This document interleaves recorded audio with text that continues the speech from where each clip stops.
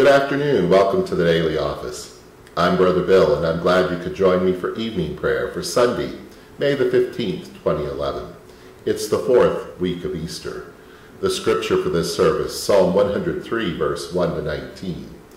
Matthew chapter 7, verse 15 to 29. And the canticles from Isaiah chapter 60, verse 1 through 3, 11, 14, and 18 and 19.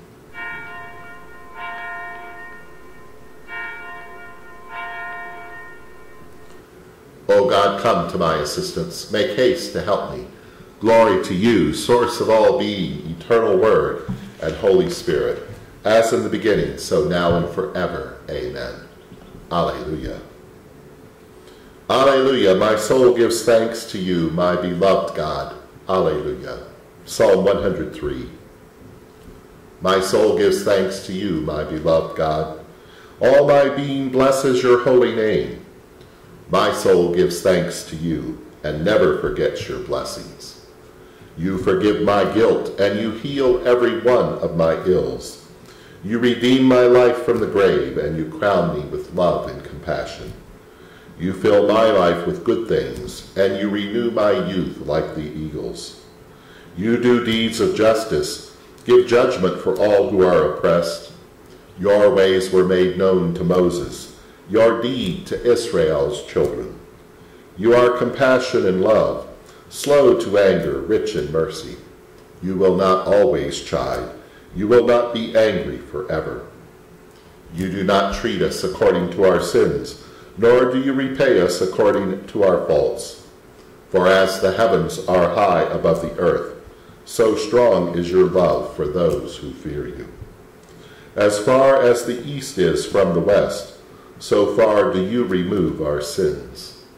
As parents have compassion for their children, so you have pity on those who fear you. For you know of what we are made, and remember that we are dust. And as for us, our days are like grass. We flower like the flower of the field. The wind blows and we are gone, and our place never sees us again. But your love is everlasting upon those who fear you your justice reaches out to children's children when they keep your covenant in truth, when they keep your will in their mind.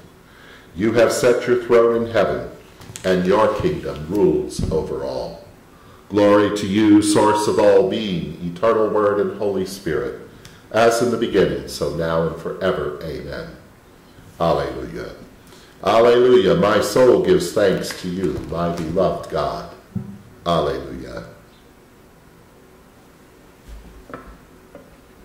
The lesson is from the Holy Gospel according to Matthew, chapter 7, beginning at verse 15. Nothing that enters us from the outside makes us impure. It is what comes out of us that makes us impure. If you have ears to hear, then listen. When Jesus got home away from the crowd, the disciples questioned him about the parable. He said to them, Are you also incapable of understanding? Don't you see that whatever enters us from the outside cannot make us impure? It doesn't enter our heart, just our stomach, and then it passes out into the sewer.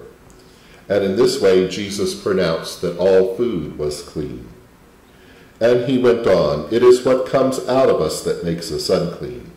For it is from within, from our hearts, that evil intentions emerge promiscuity, theft, murder, adultery, greed, malice, deceit, obscenity, envy, slander, pride, and foolishness.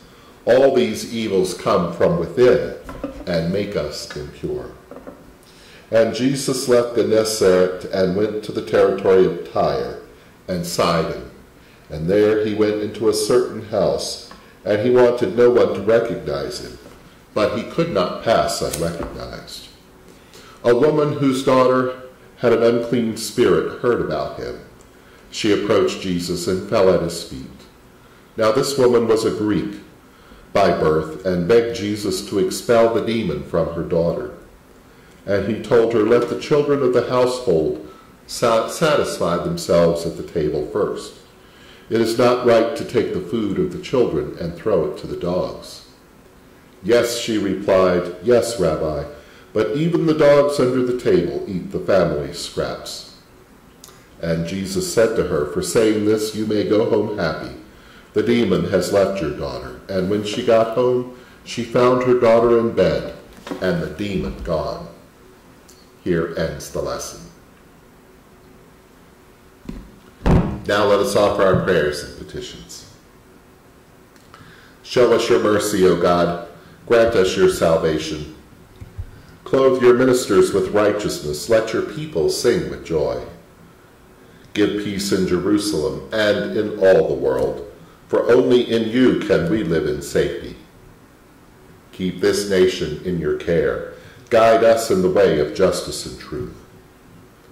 Let your way be known upon the earth, your saving health among all nations. Let not the needy be forgotten, nor the hope of the poor taken away. Create in us clean hearts, O God. Sustain us by your Holy Spirit and for all of your intentions. Our beloved in heaven, holy your name. Your kingdom come, your will be done on earth as it is in heaven. Give us today our daily bread and forgive us as we forgive others. Save us from the time of trial and deliver us from evil. For the kingdom, the power, and the glory are yours, now and forever. Amen. Alleluia. Arise and shine, for your light has come. Alleluia. A song from the prophet Isaiah. Arise and shine, for your light has come, and the glory of the Most High has risen upon you.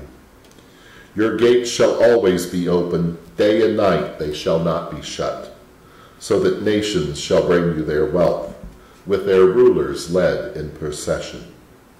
Violence shall no more be heard in your land, devastation or destruction within your borders. You shall call your walls salvation, and your gates praise. The sun shall no longer be your light by day, nor for brightness shall the moon give light to you by night. But God Most High will be your everlasting light, and your God will be your glory.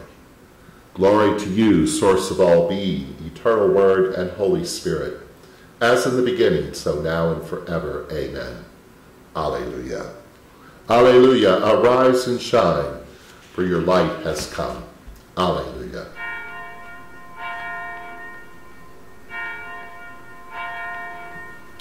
Bless Yahweh, my soul, and may the God of hope fill us with all joy and peace in believing through the power of the Holy Spirit. Amen. Alleluia.